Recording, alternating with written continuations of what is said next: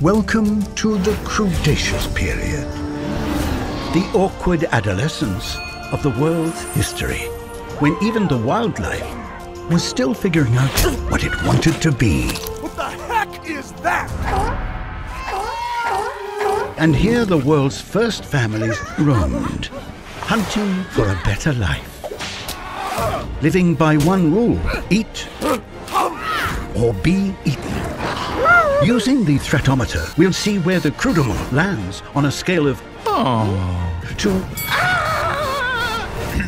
Let's take a look. I give you the death cat. This giant saber-toothed tiger sports the color palette of a parrot and is fueled by an insatiable appetite for friendship. This good-natured creature is always ready to jump into action to help his adopted family with any task, even when it's hard to swallow. I'm glad it's you, Chunky. It's time to say hello to the chicken seal. Part chicken, part seal, all screamer. Although sluggishly docile in nature, their speed and temper multiply, especially if they're crudely awoken from their sleep. I'm sorry, I'm sorry, I'm sorry, I'm sorry. Here comes the new age. The prehistoric sloth is actually the fastest sloth recorded to date, moving at a notable speed of normal. A sloth's main method of self-defense is their symbiotic relationship with humans. They cling onto them, Seatbelt mode. and in return, humans have something cute to show off. Hold on, stop. You accessorize with a sloth? I accessorize with a sloth. Onto something with a little more bite. The land shark. This cold-blooded killer is a predator of both sea Whoa! and land, We aren't actually gonna cross that, are we? frequently leaving the world's first families with nowhere to run or swim because either way, If You're going to eat us. You should eat the fat one first. they're dead. Oh my goodness. Here comes the new age.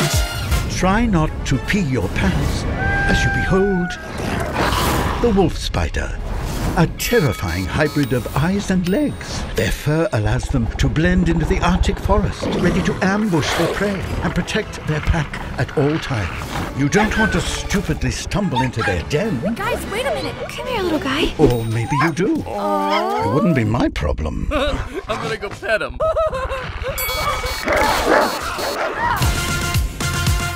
Brace for impact as I give you the punch monkey.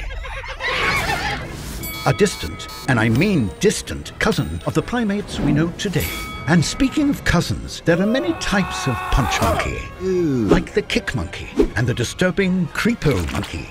What are you doing? Each one a bigger butthead than the last, especially the headbutt monkey. That's rough. Punch monkeys communicate via a complex language based almost entirely on interpersonal violence. I'm fluent in Punch Monkey. What's he saying? They're always a hit. You slap your mother with that hand? Here comes the new age. The Cretaceous period. A brief moment in time that became one of the most important chapters in our evolution. Are you seeing this? Wow.